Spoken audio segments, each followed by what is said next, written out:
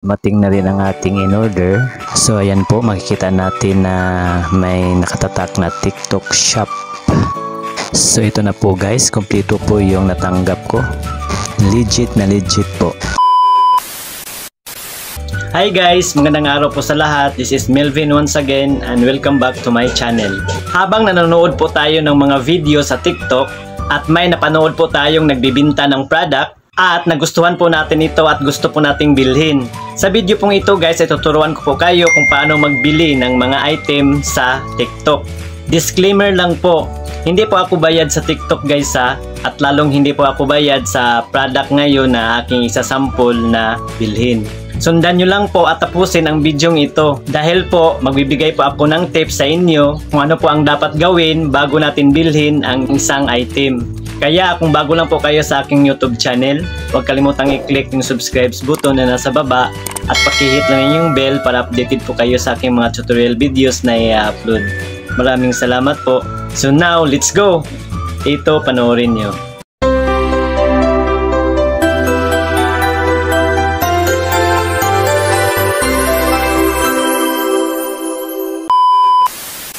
So ayan po guys, naka-open na po ang aking TikTok account.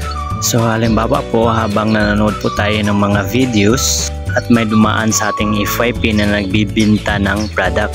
So halimbawa ito, ito po yung nagustuhan kong bilhin.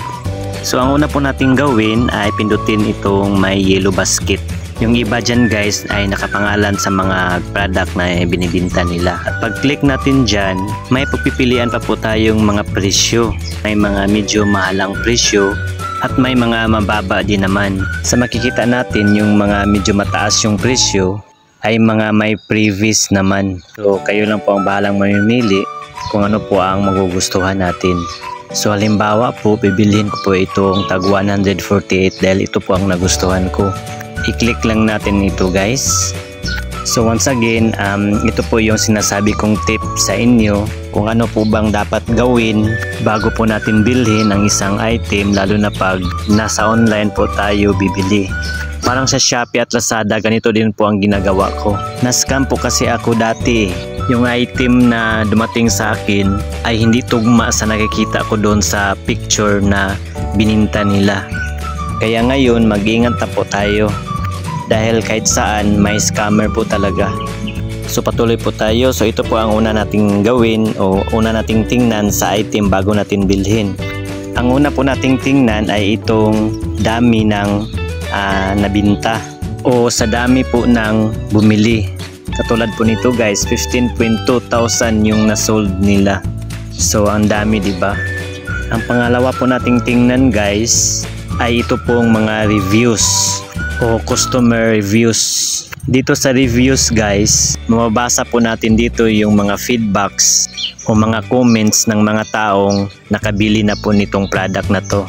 Dito po natin malalaman kung legit po ba yung products or effective po ba. So katulad lamang nito guys, so sa mababasa natin dyan, maraming mga nag-comments dyan uh, karamihan mga positive uh, comments naman. Di natin maiwasan yung may mag-comments talaga na negative. Ang importante majority po yung uh, magandang comments. Ang pangatlo tingnan po natin kung may free shipping ba o may discount po ba ang shipping fee. Dahil po may ibang item dito na mas mahal pa yung shipping fee kaysa halaga ng item na binili natin. At pangapat, uh, tingnan po natin kung may coupons ba o promotion. Meron po bang discount yung product na binili natin. So katulad lamang dito guys, may nakalagay dito 25 pesos off. Tapos may nakalagay no minimum spend. Ibig pong sabihin, mahal man yan umura yung item, babawasan talaga yan ng 25 pesos. So kapag may nakita po tayong ganito, i-click lang natin itong claim at automatic na po yan mababawasan ng 25 pesos ang ating item na binili. So katulad po dito guys may free shipping po tayo. Plus may discount pa po yung halaga ng item na binili natin. So let's go. Pindutin na natin itong free shipping. At dahil first time ko rin pong uh, magbili ng item dito sa TikTok so kailangan pa po nating mag set ng ating address. So kayo na lang pong bahala mag-fill up sa address nyo. So ayan na po, nakasit na po ang aking address from Manila to Davao City. So yan po ang shipping fee. 125 pesos at dahil free, free shipping po ako hindi po yan madadagdag sa aking bayarin so i-click lang natin itong continue pagkatapos natin iset ang ating address hindi ko pa pala na-click itong 25 discount ko. I-click lang natin itong claim. So ayan po. Use na po. So kapag okay na po ang lahat saka natin i-click itong buy now. So yan po dahil bago pa po tayo, kailangan pong isulat ang ating contact information. Kagaya lang po ng ating complete name, contact number, and complete address for delivery transaction. So kayo na pong bahala magdagdag ng inyong address, streets, village or subdivision, etc. At kapag okay na, i-click itong next.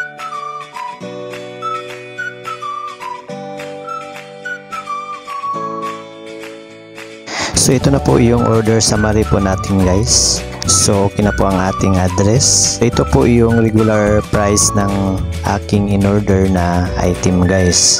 173. So dahil may discount po tayong 25 pesos ay nagiging 148 na lang po ang ating babayaran. Wala na po yung shipping fee dahil free shipping po ang um, ang item na ating in-order.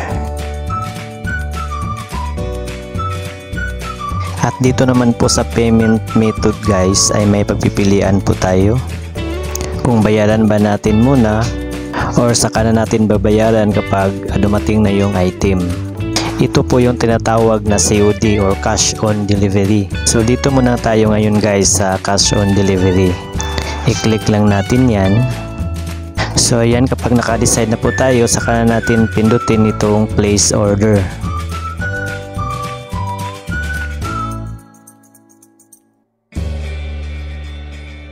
Pagkatapos niyan, magsisend yan ng 6-digit code sa ating phone number na isinul- isinulat natin doon po sa ating contact information. At isulat po natin dito ang 6-digit code. So, ayan na po, na-receive ko na po.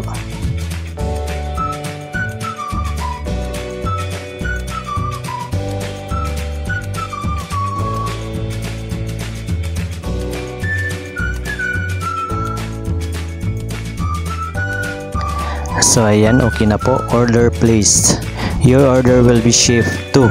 So ayan na po ang pangalan ko at ang contact number at ang aking address. Pwede pa natin yung i-change guys habang naka-place na yung order. Pwede pa natin i-change yung ating address. Click lang natin yung change address. So balik po tayo sa aking TikTok account. Kung gusto po nating i-check or i-monitor ang ating item na in-order, kung saan na ba nakapunta yun, i-click lang natin itong your orders. Dito po natin nalalaman kung na-ship na po ba at kung saan na po banda ang ating item na in-order. So ayan po, makikita natin na to ship na po ang aking order. At makikita din natin dyan yung estimated delivery kung anong pizza dumating sa atin. Estimated lang po yan guys. At kapag i-click natin yan, habang hindi pa na-ship guys, pwede pa po nating i-cancel ang ating order. Kung naiba po, nag-iba po ang ating isip, i-click lang po natin yung cancel order. And then magtatanong po yan sila kung ano pong dahilan kung bakit i-cancel nyo. So pagkatapos niyan guys, hintayin na lang natin yung order nating dumating sa ating lugar. At to make the long story short guys ay dumating na rin ang ating in order. So ayan po makikita natin na may nakatatak na TikTok shop. So tara subukan nating buksan kung tama po ba yung nasa pin picture ng mga bininta nila. So ito na po guys, kompleto po yung natanggap ko.